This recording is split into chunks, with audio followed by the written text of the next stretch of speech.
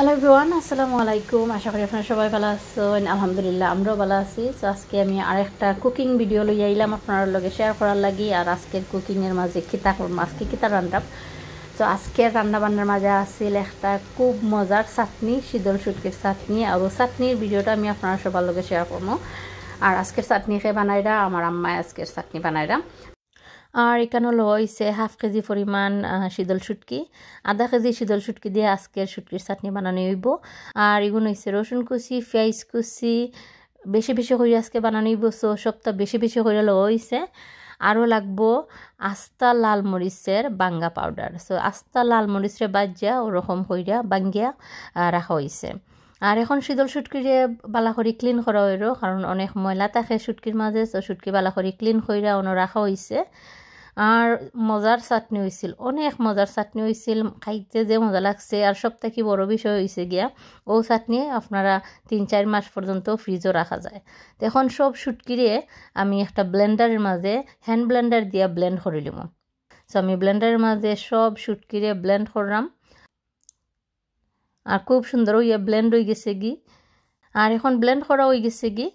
আর বাকি প্রসেস আমি একটু একটু কইরা দেখাইলাম আপনার সাথে আজকের ভিডিওটা শেয়ার করলাম যে অত মজার শুটকির চাটনি আপনারা ওলাখান রান্ধিয়া খাইয়া দেখতে পারবা। খুব মজার চাটনি আছিল। তো যারা শুটকি বেলা ফাইন, শীতল শুটকি বেলা ফাইন, তার কাছে অনেক ভালো লাগবো। আর এখন একটা ফ্রাইং প্যানের মাঝে তেল দিলাইছি।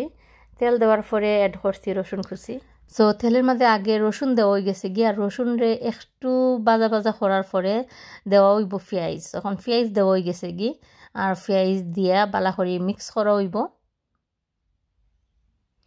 সো পেঁয়াজ রে নাইরে সাইডে মিক্স করা হইল আর এখন দিলাইবা শুকনা মরিচ।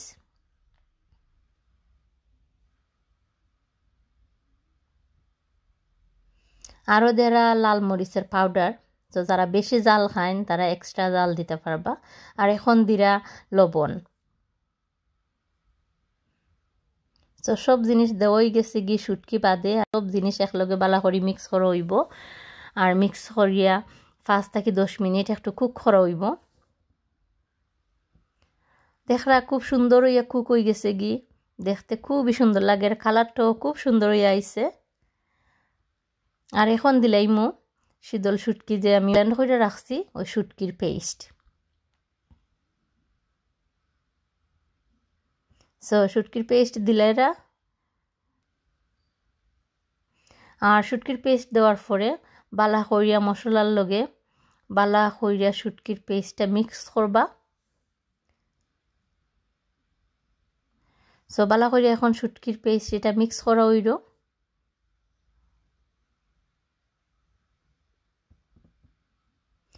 আর যখন এটা বালা করে মিক্স করা হয়ে যাব, তখন আরও পাঁচ থেকে দশ মিনিট মিডিয়াম হিটে এটা কুক করা হইব।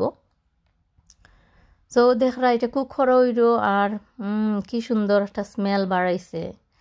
দেখরা শুটকির চাটনি রেডি হয়ে গেছে কি আর ওরকম কইরা আমরা শুটকির চাটনি বানাইয়া ছোটো ছোটো কন্টেনারও কইরা ফ্রিজও রাখি দেই। তো যখন ইচ্ছা হয় তখন খাওয়া যায় আর এই শুটকির চাটনিটা নষ্ট হয় না। সো খুবই মজার আছিল শুটকির চাটনি।